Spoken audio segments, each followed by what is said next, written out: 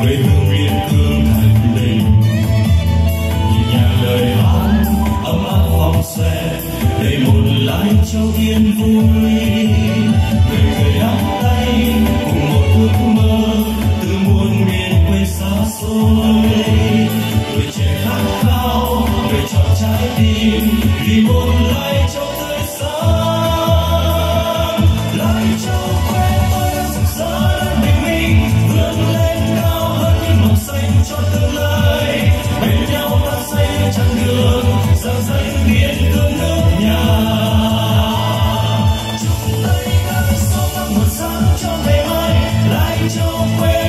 đẹp rồi trong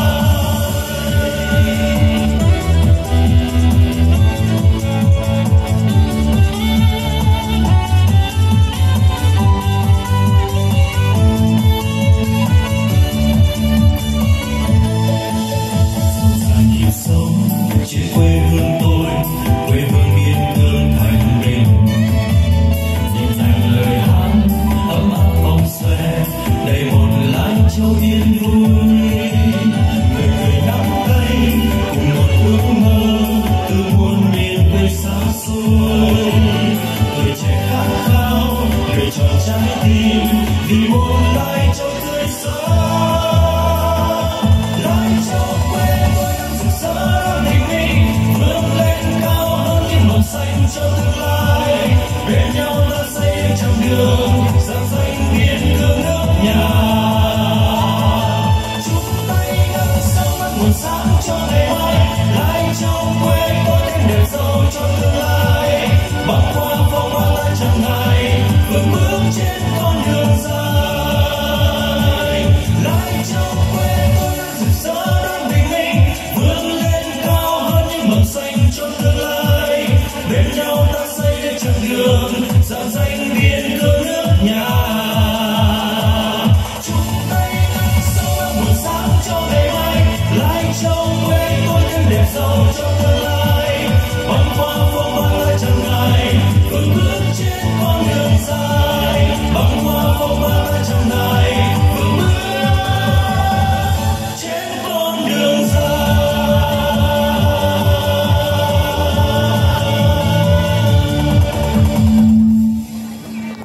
Vâng, xin được cảm ơn các tiết mục văn nghệ rất đặc sắc đã mở màn cho chương trình ngày hôm nay.